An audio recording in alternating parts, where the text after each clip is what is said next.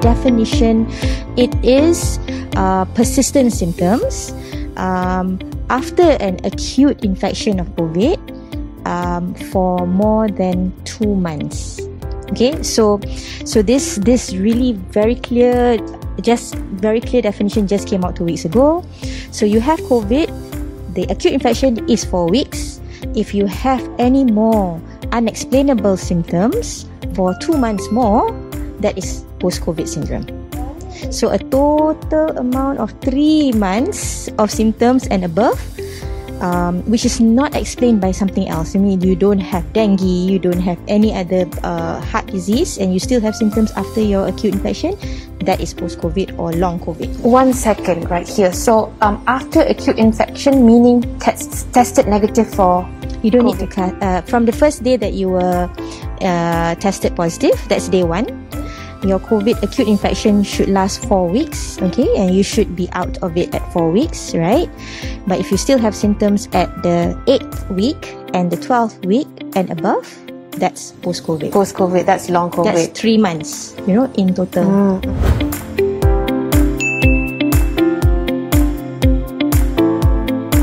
Well, I always advocate that you should be well um, about four weeks after your infection okay?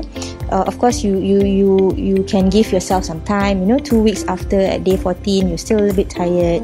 Um, at um, the third week you're still a little bit tired and you can not probably your be your 100% but at the fourth week you know after a month if you're still having some kind of symptoms which you had previously during the acute i mean during the beginning of infection i think that's when you you should get checked. Okay. You know, it could be something else. You know, yeah. you never know.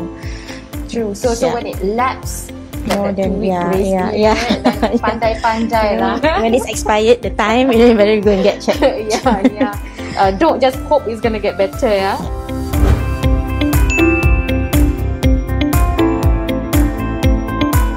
General percentage is that within 30 days mm. of um, your COVID infection, uh, your risk of re-hospitalization is about 5% and above. Okay. This means that, okay, you get COVID on the first of the month, mm. right? Then you recover. Mm.